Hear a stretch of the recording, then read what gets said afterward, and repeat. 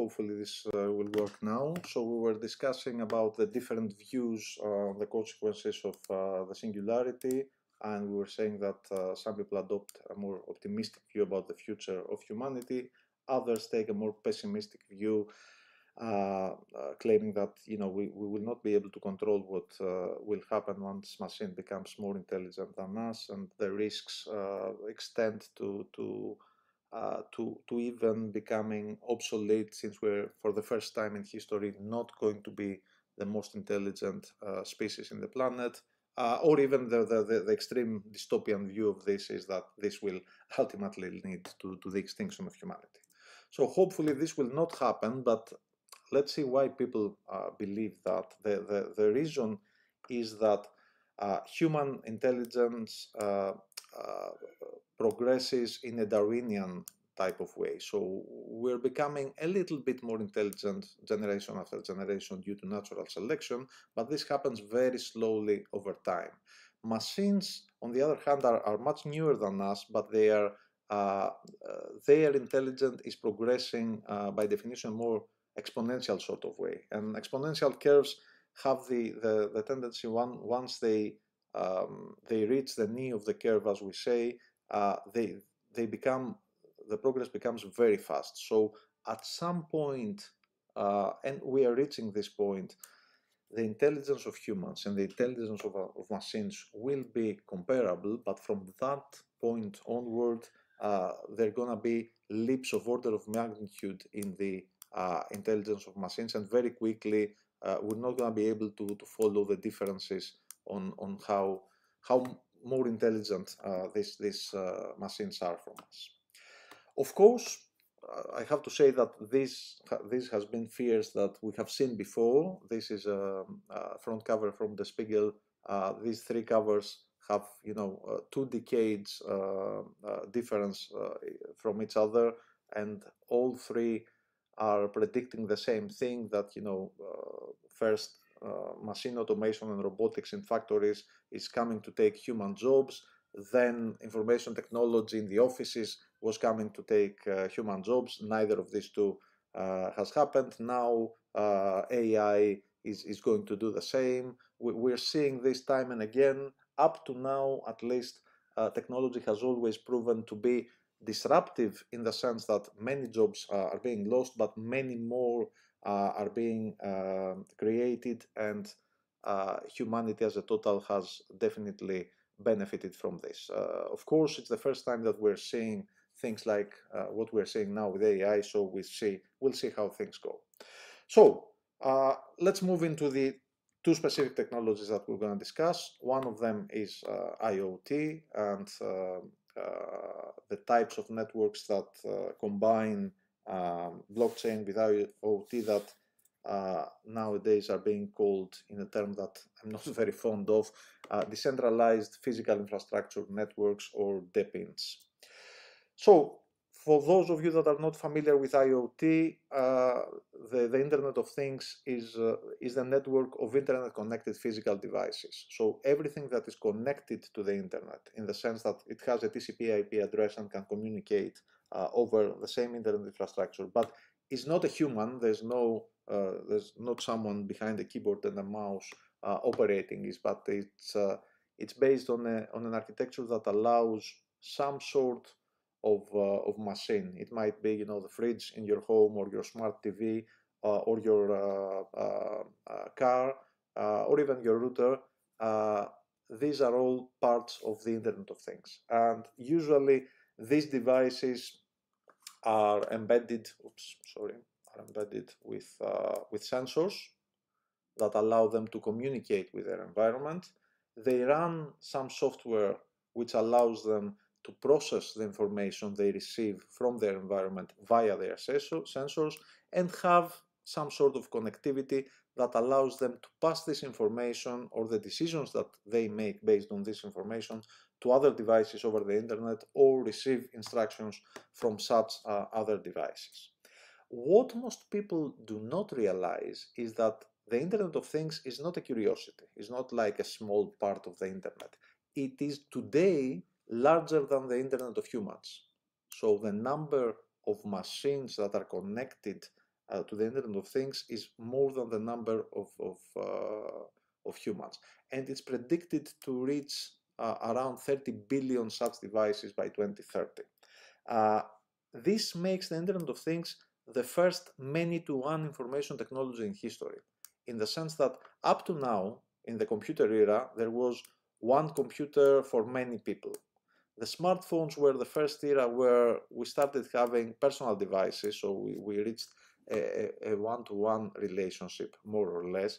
But sensors, if, if uh, we start measuring in the, them in the tens or in the hundreds of billions, given that we are like 8 billion people on the planet, we, it's the first technology that there are going to be many machines serving each person. And interestingly, they're not going to be, they're going to be machines that they serve us in the background. So they are they're pervasive, they're all around us. We, we tend to forget about them. Uh, we, we don't remember, you know, actively every day how many hundreds of um, chips uh, exist today in a typical car that we, we drive. Uh, and this is something that, uh, you know, on the one hand creates lots of very useful services uh, for us. Uh, on the other hand, it, it creates all sorts of uh, newfound problems that we, we, we didn't used to have when computers were really, you know, large enough and visible in front of us. Huge spectrum of applications for the Internet of Things, both for the consumer and the enterprise segment, things from smart homes to, to wearable devices, to connected health, uh, to transportation, vehicle to vehicle uh, communications, for example, building automation, manufacturing, and so on and so forth. IoT exists today, but this does not mean that all its problems have, have been solved. There are a number of challenges associated with, uh, with these devices and sensor-based communication uh, between them, the most important of which is the issue of security. Uh, since these devices remain invisible while collecting sensitive data about us, they could be eavesdropping on our discussions, tracking on uh, our location. These are things that are happening today. They tend to recede on the background of our consciousness uh, and the problem is not necessarily that these things happen. I mean, if they are, um, uh, you know, well designed and we are uh, cautious of their existence, we can probably manage them.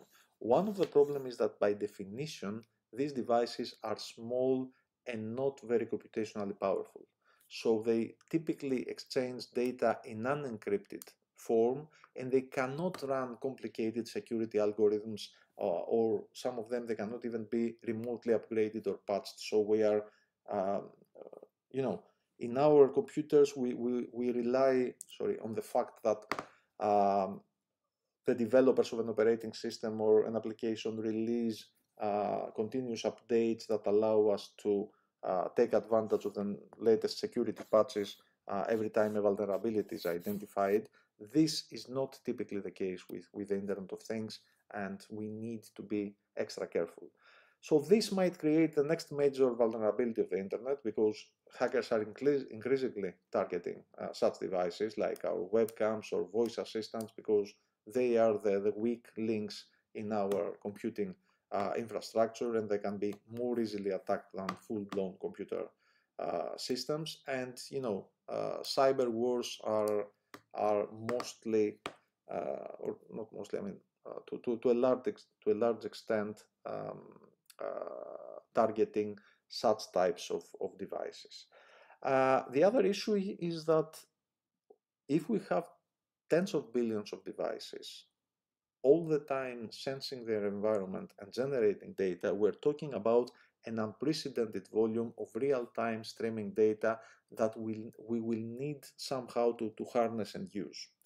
Uh, and this is where decentralized physical infrastructure networks uh, come into play.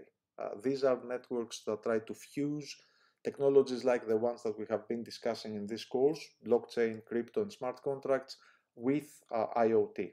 In other words, DePINs are Web3 protocols that integrate and offer services and resources from a decentralized network that consists uh, of physical machines, and they are typically incentivized, uh, the, the, the, participants of this network, via some sort of crypto token uh, model. So you can think of them as a mix of IoT uh, and blockchain.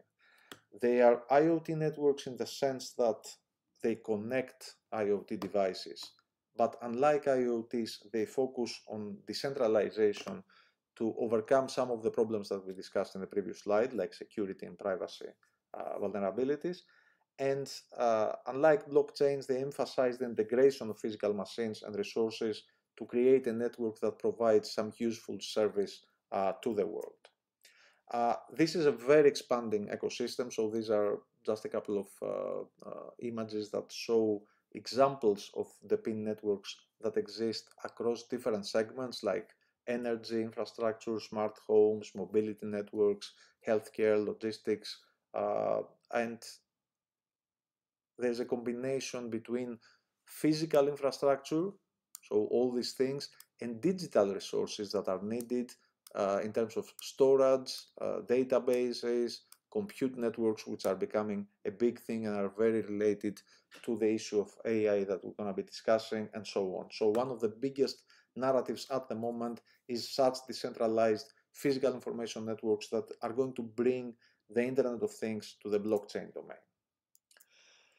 Let's move on to AI and address the question of whether computers can really be intelligent. Uh, AI is about machines performing tasks that are normally associated with human intelligence, like visual perception, natural language processing, complex decision making, uh, and so on. In reality, the goalposts are moving here, and I very much like this theorem that says AI is whatever hasn't been done by computers yet. So uh, if, if you asked someone a few years ago whether you know a computer playing chess would be uh, considered intelligent, they would definitely say yes. Today, it's just a commoditized application to the extent that we have uh, uh you know computers playing chess much much better than the best human players, and there's all sorts of um, applications in which uh, machines are becoming much more intelligent than the best human, not, not the average human, but the best uh, world champion. Uh, today, AI is more about things like, uh, you know, uh, autonomous robots or self-driving vehicles and so on. Uh, and I'm sure that, you know, in 10 years, these are going to be considered everyday applications of computing and something more exotic is going to be considered AI then.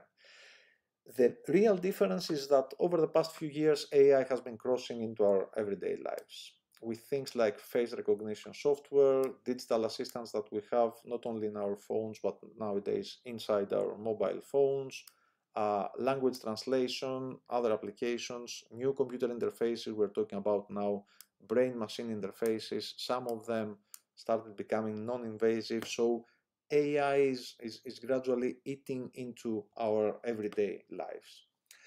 But there are different types of, of AI, right? Uh, most AI that we have had up to now would be classified as what we call narrow intelligence or weak AI. So machines can perform a narrow set of specific tasks very intelligently, like playing chess as we said, but they cannot do anything else. So they are very intelligent, but on a very narrow uh, type of application.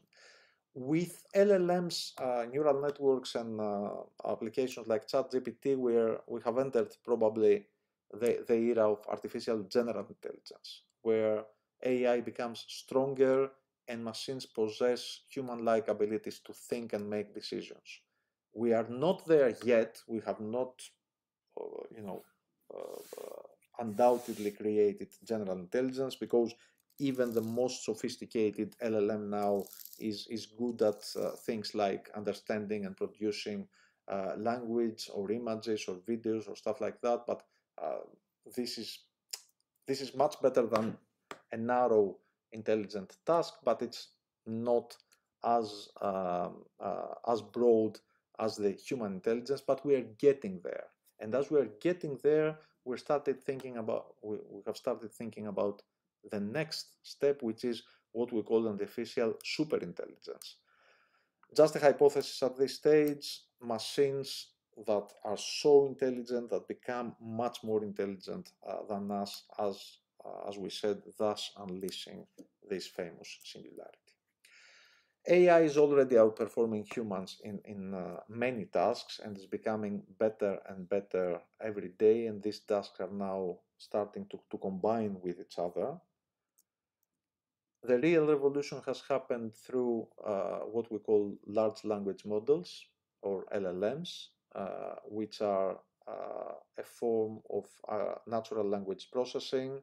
Uh, they, they utilize neural networks to, to process uh, words uh, in relation to other words in a sentence and they they are able to predict what would be the next uh, the most likely next uh, token or word in uh, in a sentence. And although this sounds trivial when you look at it from the uh, individual sentence perspective these can grow into layers that allow them to understand not only small tokens, not only individual words, not only small sentences, but uh, uh, full um, uh, pieces of text that allow them to, to decipher meaning from, from uh, uh, what we tell them. And they respond to us in a way that feels like human, although by all means there is just software running, so there's no uh, consciousness or, or, or, or, or other uh, properties associated with, uh, with humanity. The interesting thing is that this belongs to a class of uh, AI called unsupervised learning, uh, in which uh, the model self-learns, and this allows these models to become more intelligent the more data they're fed in and the more experience they get. So this is a bit like the way humans learn as we grow and as we uh, are uh, uh, exposed to stimuli, we become more intelligent. And this is something that uh, these models um, uh, have started harnessing at a level that is comparable to human intelligence.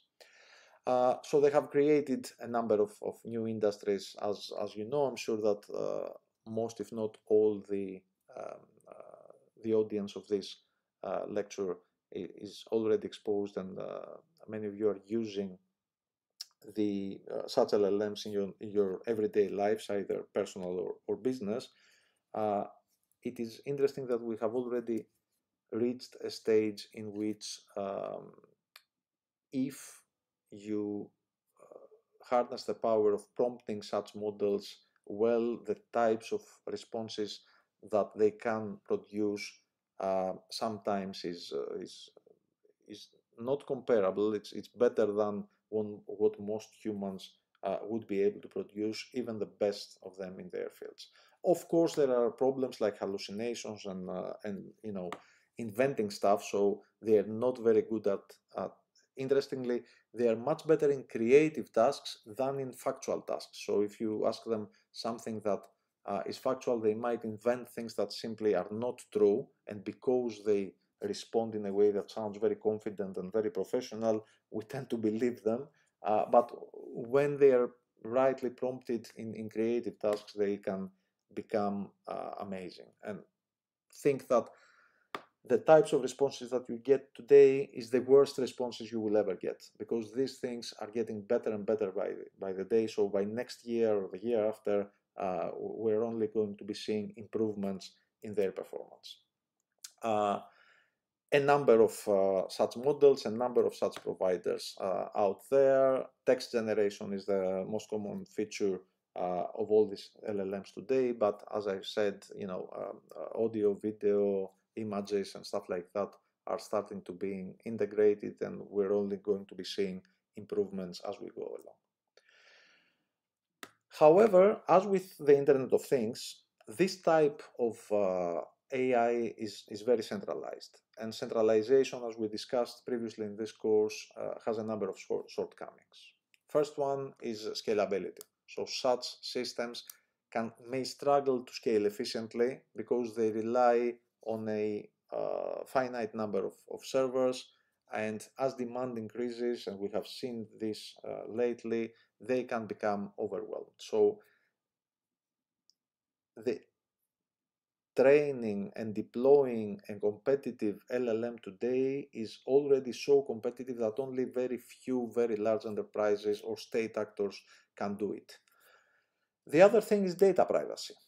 Uh, every time we write something on ChatGPT, uh, we, we, we release data uh, to, to, the, to the company behind that, that LLM. And as we are becoming more and more um, accustomed to, to speaking to someone that we think as a, as a human being, we might start sharing information that we wouldn't normally want to, to, to share with, with outsiders. Uh, there's innovation bottlenecks always in centralized systems because we are everyone is dependent on the innovation capability of the very few producers and providers of such competitive models energy consumption is, is a thing because the, the demands of such systems are, are very, very uh, big. And uh, you, I'm sure that you have heard about biases uh, because of the centralization in how these systems are being trained. This may result in models that do not perform equitably across different demographics or, or segments and, you know, the, the recent troubles of uh, Google's uh, Gemini uh, project is, is a good example here. So there might be an, an, opportunity to bring crypto into AI in the sense of bringing decentralization into the architecture of uh, AI systems to mitigate some of these shortcomings. So decentralized AI might reduce the risk of a single point of failure, as we discussed earlier in the course. This is a one of the biggest benefits of decentralization. It might reduce the risk of cyber attacks because it, um, uh, it there is no single server that can be or single set of servers that, that, that a malicious party would need to attack. Decentralized systems are more resilient because there's uh, uh, uh redundancy uh, among different machines. Data sovereignty sovereignty can be um, uh, respected more because uh, we, it might allow data to, to remain local or to be transmitted and stored in encrypted forms using um, techniques like zero knowledge uh, proofs. Uh, community governance uh, might be a good way to uh, mitigate the reliance on the decision or on the decisions of a small number of uh, state or uh, uh, enterprise actors that are, you know,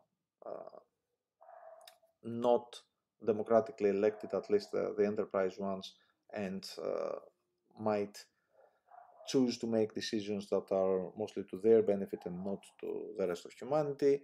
Data security because of the distributed nature of decentralized AI, and edge computing in the sense that uh, AI today is very centralized and we need to have intelligence more closely to the um, to the edges of the network where decisions and actions uh, uh, typically take place.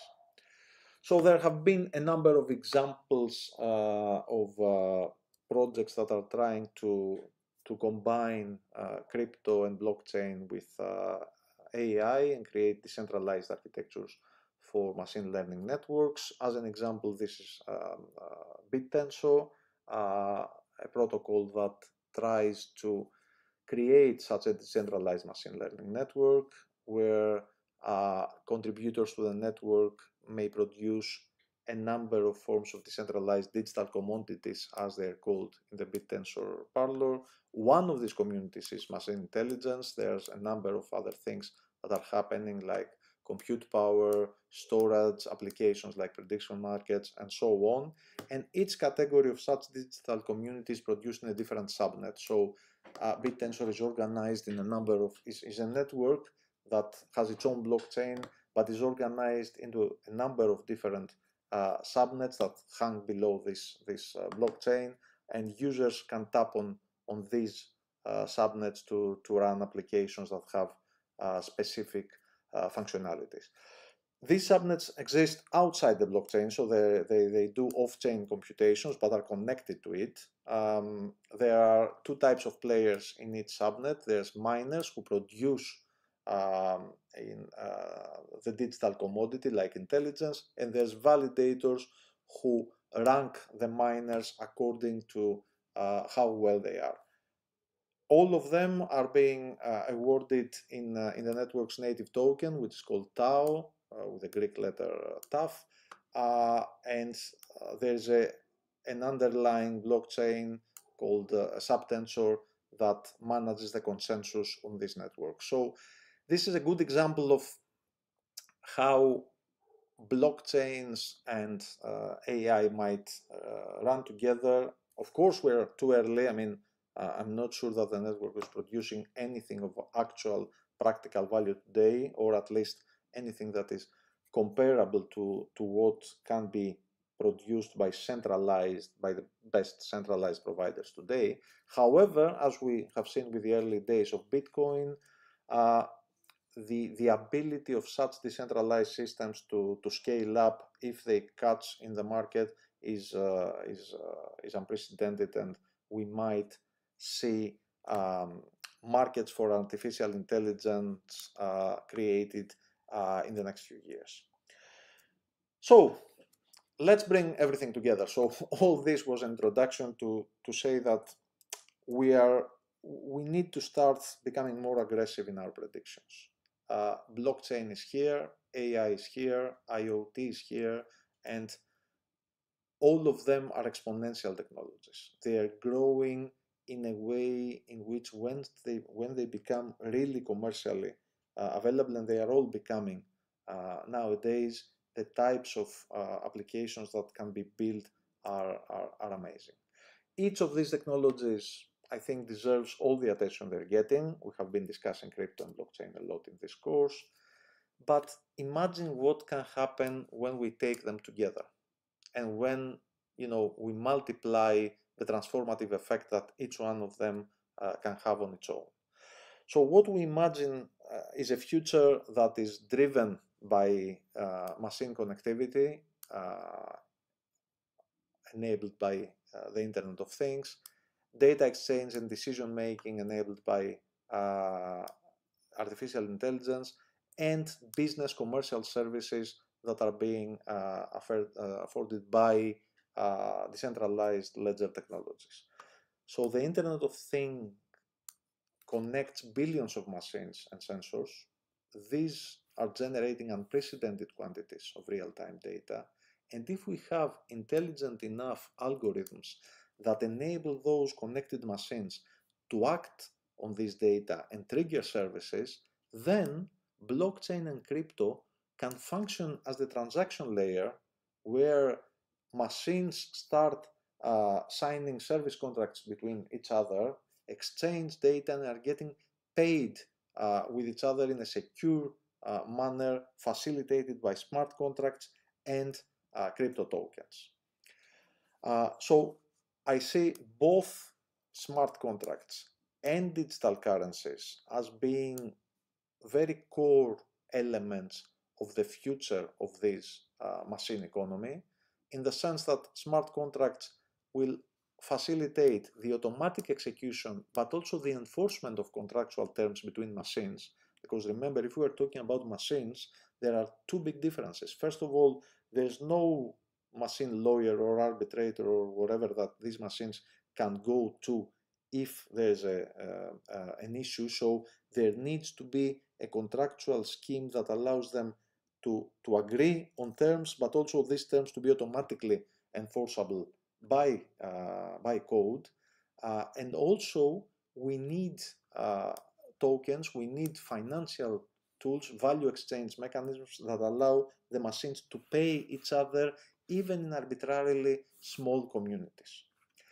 And digital currencies offer these uh, monetary forms. As we said earlier in this course, they are more, both programmable and active sorts of money, so there might be money more suitable for machines rather than uh, humans. So the role of IoT, AI, and blockchain is summarized in, in, in this slide. I think the Internet of Things will be the underlying layer where data is being collected and transmitted over an internet architecture. AI, if it manages to become decentralized, this is the big question mark here because it's still very centralized to be able to support this dream, sorry. Uh, it will be, if it becomes decentralized, it will be synergistic with IoT, creating small brains that exist at the edges of the network, and then blockchain and crypto will create a layer of decentralized governance, financial tools and currencies, and integrate everything together in a uh, unified architecture. So this is a potential technology stack uh, for the future that we're imagining. Uh, at the bottom layer, a dense network of Internet of Things connected uh, physical objects each of them having sensory abilities, some of them also having actuating capabilities, so having actuators that allow them to do stuff in the physical environment. AI becoming decentralized, so having algorithms that run not at central servers but at the edges of the network, so mini brains. And finally, distributed ledger technology, smart contracts, and digital currencies enabling machine to machine commerce. This machine commerce will be built by the combination of crypto, what we have been discussing in this course, that creates new forms of money that are suitable for machines, and blockchain, which creates an internet of value, an internet of trust. We said earlier in this course that blockchain alone will disintermediate industries, removing middlemen, combined with AI and IoT might remove humans from the equation uh, completely, giving rise to, to uh, a sort of machine-to-machine -machine economy in which we will have autonomous AI-based uh, economic agents.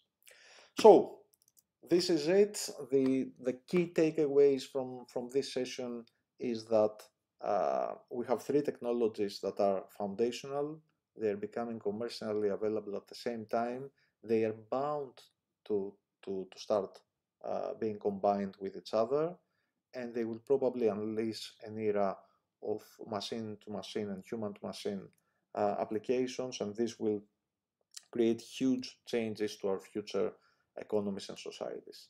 Looking forward to discussing this with you in the upcoming live session. As always, please uh, post your questions on, uh, on Moodle and uh, Discord, and we will take them on during our live session. Thank you.